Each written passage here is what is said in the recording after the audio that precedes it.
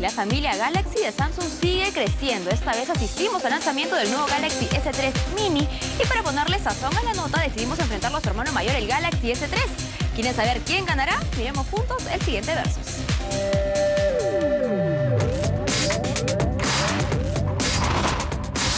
Compacto como muchos lo pidieron y potente como su hermano mayor. Hoy, queridos geeks, nos alistamos para el lanzamiento del Galaxy S3 Mini.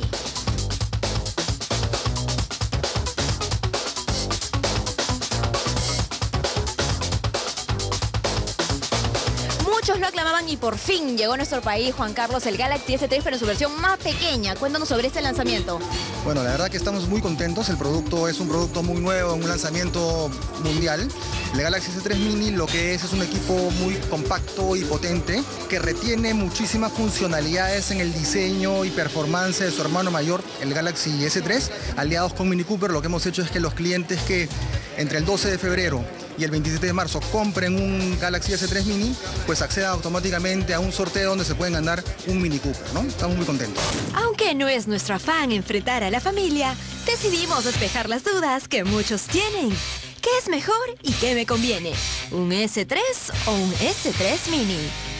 Preparen un ring para los contrincantes. Un versus entre ambos smartphones es lo que viene.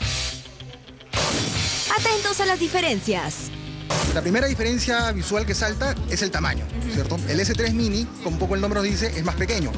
Tal vez la principal diferencia que podemos notar es en la pantalla. ¿no? Para tener eh, una idea, el Galaxy S3 Mini tiene una pantalla de 4 pulgadas. ¿Correcto? Mientras que el S3, su hermano mayor, si es que lo queremos llamar así, tiene una pantalla de 4.8 pulgadas. Otras características eh, donde se pueden diferenciar es, por ejemplo, también en, en la performance, se puede notar en el procesador. Ajá. El Galaxy S3 Mini tiene doble núcleo, el procesador es un de doble núcleo de 1 GHz. El S3 es un cuádruple núcleo de 1.4 GHz. La memoria del S3 Mini es una memoria de eh, 8 GB. El S3 tiene 16 GB y tal vez también podríamos mencionar la cámara, ¿no? Mientras el S3 Mini tiene una cámara de 5 megapíxeles, la cámara principal, el S3 tiene una cámara de 8 megapíxeles. Ahora demos paso a las semejanzas. Cuando uno los ve físicamente, los equipos son muy parecidos en cuanto a la, digamos, la forma, la geometría, los colores, los materiales. ¿no? La interfaz es prácticamente la misma, los menús, eh, las funcionalidades de las aplicaciones que tiene son prácticamente las mismas. Este es un equipo que Samsung lo lanzó inspirado mucho en la naturaleza. ¿A qué me quiero referir? Un poco cómo fluyen los, los menús, sonidos que asemejan el, el agua, el viento. Bastante amigable, ¿no? Muy amigable, muy cercano, es un equipo que no se nota artificial sino natural. Entonces la experiencia que da el S3 Mini es prácticamente la misma que la que nos da el S3. Y no creas, Geek, que luego de este versus, los smartphones hermanos entrarán en competencia. Según los representantes de la marca, hay mercado para ambos. Muchas personas no podían tener acceso al Galaxy S3 y ahora con esta versión en mini, quizás más peruanos podamos tenerlo. Sí, y yo creo que esto se da en dos planos, ¿no? En primer lugar porque el equipo tiene un, un precio que es eh, menor en el mercado.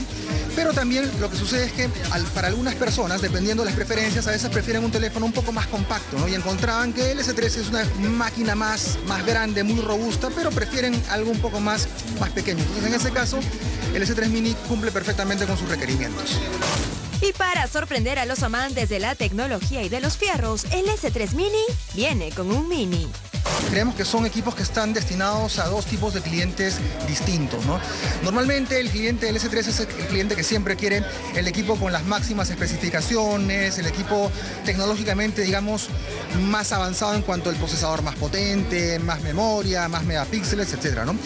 El S3 Mini va más bien dirigido a la persona que le gusta disfrutar de la experiencia de un dispositivo avanzado, con la interfaz y la comodidad que ya venía en el S3, pero que más bien prefiere un equipo más amigable en cuanto puede ser el tamaño, ya sea para llevarlo en el bolsillo o en la cartera. Ya lo sabes, Geek, un nuevo dispositivo ingresa al mercado de los smartphones para sorprenderte. Pero eres tú quien decide cuál es el mejor para ti.